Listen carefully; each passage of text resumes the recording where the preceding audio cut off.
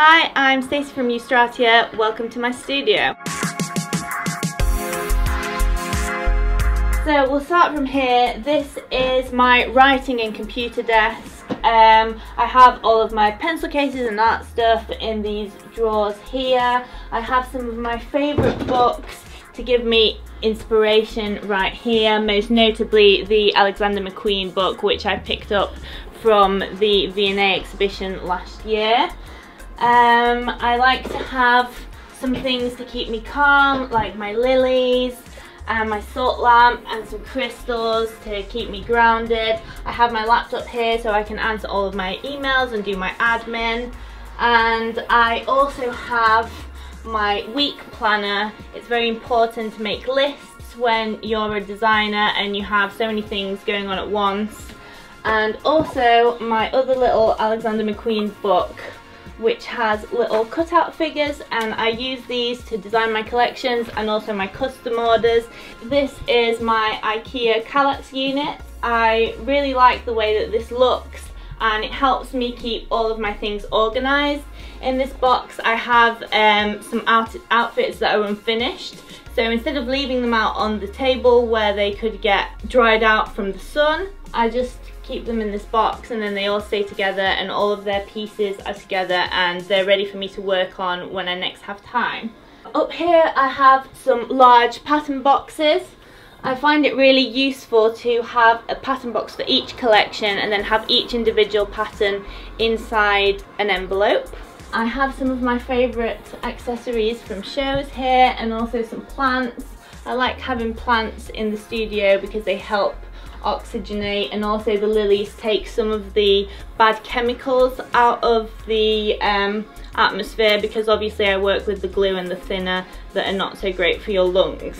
I have my IKEA Alex drawers here. These are actually really, really useful for keeping all of my little bra findings and elastic and latex trim and all of those things that you need really organized. And on top here I have another crystal, um, a little succulent and my mannequin. Usually she's wearing underwear but I actually took the underwear off her to use in a shoot the other day and haven't managed to dress her again. So above my desk here I have um, some of my favourite pictures. This was an illustration that I did at university that was one of the things that people always talked about. This one here is um, the first image that I did when I changed my style and developed what was the forebear of the style that I have today so I thought that was a very significant photo shoot and I have that picture there. This one here is a quote of mine from a magazine feature and it says I enjoy trends and fashion but I prefer clothes that are versatile and can be carried forward from season to season. That is a statement that will always be true for me and I was really glad that they picked that out to use as my quote. And this is my cutting table. Uh, I like to have all my cutting boards laid out here so I can easily um, cut out with my blade. And above my desk I actually have a kitchen extractor fan. Now this is going to sound strange to most people but I use this to absorb the fumes when I'm gluing the latex.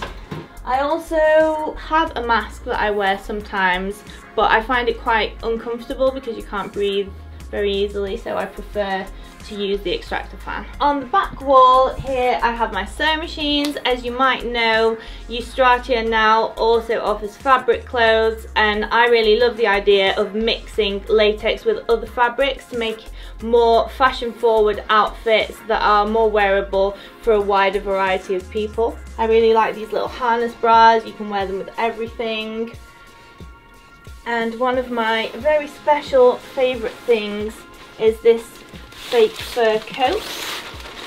I've never actually made a coat before so I was very um, kind of pleased with myself that I managed to put it together properly and line it and make the collar as well.